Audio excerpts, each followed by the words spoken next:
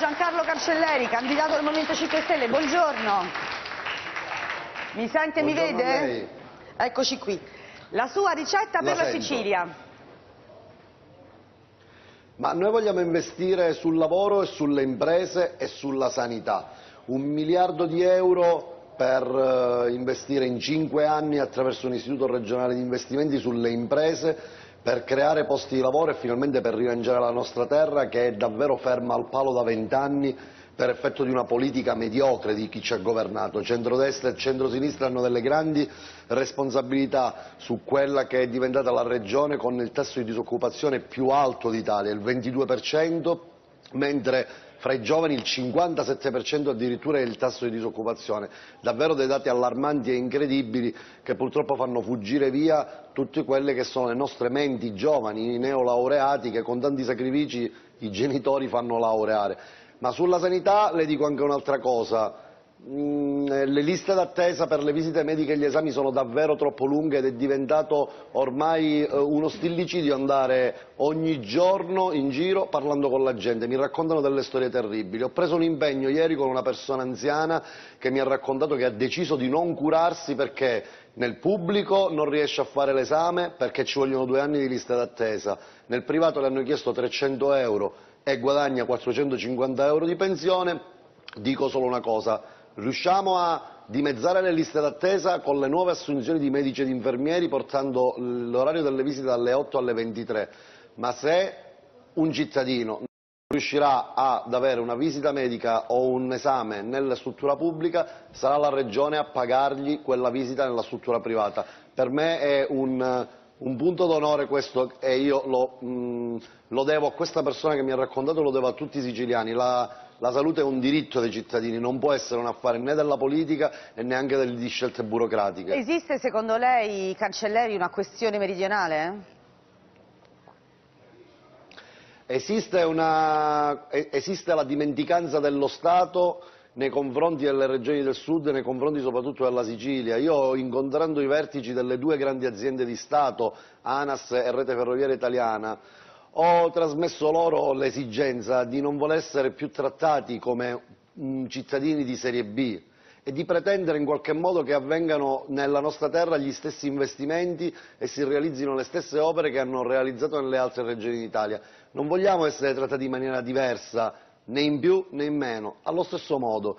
Questa cosa ovviamente deve anche fare il paio con una buona qualità della politica regionale che ahimè purtroppo in questi 20 anni ha prodotto soltanto disastri invece.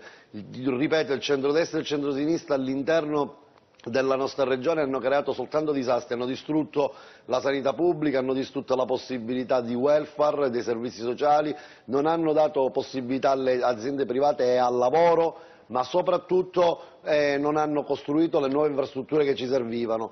E questo purtroppo sono i danni che hanno creato e oggi paradossalmente quelle stesse persone che quei danni li hanno creati invece vanno eh, si- e si stanno ripresentando per risolvere gli- i problemi che loro stessi hanno creato. È davvero incredibile. L'uomo che a lei ha indicato come suo assessore ai rifiuti in caso di vittoria sul web, eh, si chiama Angelo Parisi, in un tweet ha scritto di voler bruciare vivo il capogruppo del PD Ettore Rosato. Il tweet è stato cancellato, però lei ha detto che eh, confer- lo confermerà no? questo eh, suo assessore in caso di elezione. Insomma, le sembra come dire, le sembra giusto, le sembra corretto che si scriva appunto che si voglia Rosato, facciamo un patto, se questa legge sarà cassata dalla consulta noi ti bruceremo vivo, ok? Non le sembra un po' forte come affermazione e una, non le sembra, diciamo così, complicato che una persona così possa fare l'assessore? Ho condannato quelle parole e ho immediatamente chiamato Angelo Parisi per chiedergli di, di cancellare e di scusarsi. E Angelo Parisi ha cancellato quel titolo. Ma come gli è venuto in mente però di scrivere, di minacciare fisicamente un avversario politico, secondo lei? Ma io questo non lo so, io le sto dicendo soltanto che il diretto interessato si è scusato con Rosato. Per me la partita è chiusa. Io le vorrei chiedere invece come è possibile che questa attenzione rispetto a questo tema non sia balzata davanti a tutti gli insulti che ad esempio io ho ricevuto in questa campagna elettorale da parte di Nello Musumeci, che ha detto che sono come l'AIDS, che ha detto che sono un vampiro che mi nutro di sangue umana, che ha detto che sono un cialtrone e in ultimo ha detto anche che sono un imbecille però non c'è stata mai nessuna levata di scudi. Evidentemente, evidentemente dico forse, io conto magari un po' meno di Ettore Rosato. Io condanno quelle parole di Parisi e lo dico pubblicamente, ma condanno anche le parole di Nello Musumeci nei miei confronti e vorrei che da oggi ci fosse il rispetto di tutti nei confronti di tutti. Ecco. Quello, quello, ce lo auguriamo tutti, ci mancherebbe, ovvio però cancellare che lei appartiene ad un movimento che è partito con un Vaffadei, quindi diciamo che eh, da questo punto di vista il Movimento 5 Stelle tiene molto alti sempre i toni della polemica politica, anche con diciamo, l'uso di un insulto, qual era il Vaffa, no? Ma guardi, io in Sicilia sto facendo una campagna elettorale che non è partita oggi, ma è partita cinque anni fa, quando siamo entrati in Parlamento regionale, che ha fatto dello stile, della buona educazione e anche dei buoni rapporti non solo con la stampa siciliana, che fra l'altro ringrazio per la puntualità che ha sempre nel raccontare i fatti e nella buona qualità della, delle notizie che dà anche. E, meno male, che, e ho fatto di, di, meno male che per una volta noi, eh, noi, giornalisti siamo assolti da un esponente 5 Stelle. Eh, par no, per carità, io parlo della stampa siciliana che è davvero incredibile. Ha, vive anche di estreme differenze con la stampa nazionale, per carità.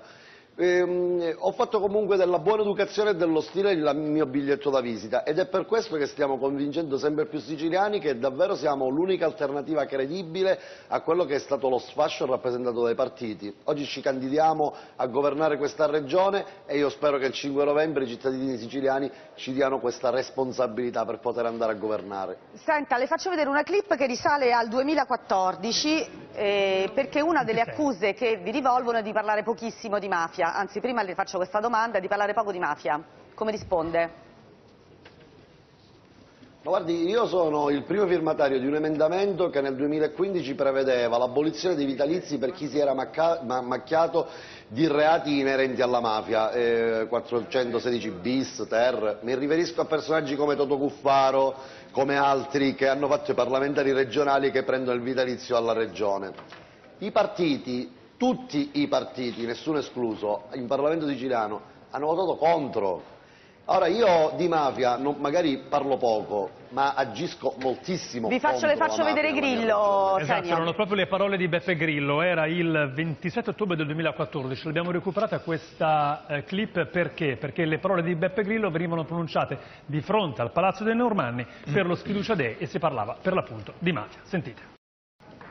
Allora, allora che cos'è la mafia? È stata corrotta è stata corrotta dalla finanza, la mafia, non, metteva, bombe nei musei o uccideva i bambini nell'acido. La, la mafia aveva una sua morale, chiamiamola una sua morale. Non c'è più niente, è stata corrotta da dentro, dalla finanza, dai soldi, dalle multinazionali, dagli affari. E dov'è oggi? Cos'è oggi un'associazione a delinquere? Ditemi che cos'è un'associazione a delinquere, sciolto un comune per l'associazione a delinquere. Da chi è formata l'associazione a delinquere? un uomo d'affari, un politico, un banchiere, un notaio, un commercialista, un poliziotto e un magistrato. A volte non c'è neanche il delinquente nell'associazione a delinquere. Cancelleri.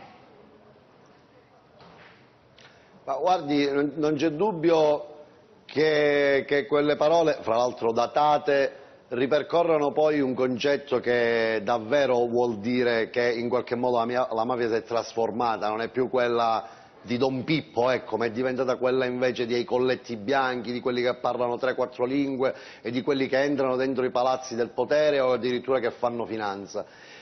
Io le dico una cosa, che in questa campagna elettorale purtroppo la mafia è stata sventolata come, qualcosa, come un argomento da mettere all'interno dei programmi elettorali. Io le dico invece che dovrebbe appartenere alla genetica e al DNA di ogni siciliano. Io nel 2012, nel 2010 sono sceso in piazza e insieme ad alcuni cittadini abbiamo fondato un movimento che si chiama Scorta Civica per difendere i giudici e i magistrati che sono eh, stati minacciati dalla mafia. Questo perché volevamo in qualche modo rappresentare doveva alzare la testa e che senza fare nulla, ma semplicemente portando la propria solidarietà, doveva stare vicino a quello che noi abbiamo definito i nostri eroi vivi, perché in qualche modo ci siamo anche stancati di commemorare. Dobbiamo cominciare anche ad avere il coraggio di supportare quelle che sono le persone che oggi stanno combattendo contro la mafia. Quando mi vedo proprio eh, Claudio Fava dire che noi non parliamo di mafia, dico io ci rimango un, po' male perché proprio nel 2010 Claudio Fava premiò me, Giancarlo Cancelleri, con il premio Pippo Fava per l'impegno civile a Roseto degli Abruzzi. Forse se ne sarà dimenticato però. Glielo ricordiamo perché lo avremo ospite tra poco. Grazie a Giancarlo Cancelleri, veramente in bocca al lupo per la campagna elettorale, in bocca al lupo a tutti i siciliani. E noi Viva vediamo... il lupo, grazie. Viva il lupo, eh, risposta ecologista del candidato di 5 Stelle.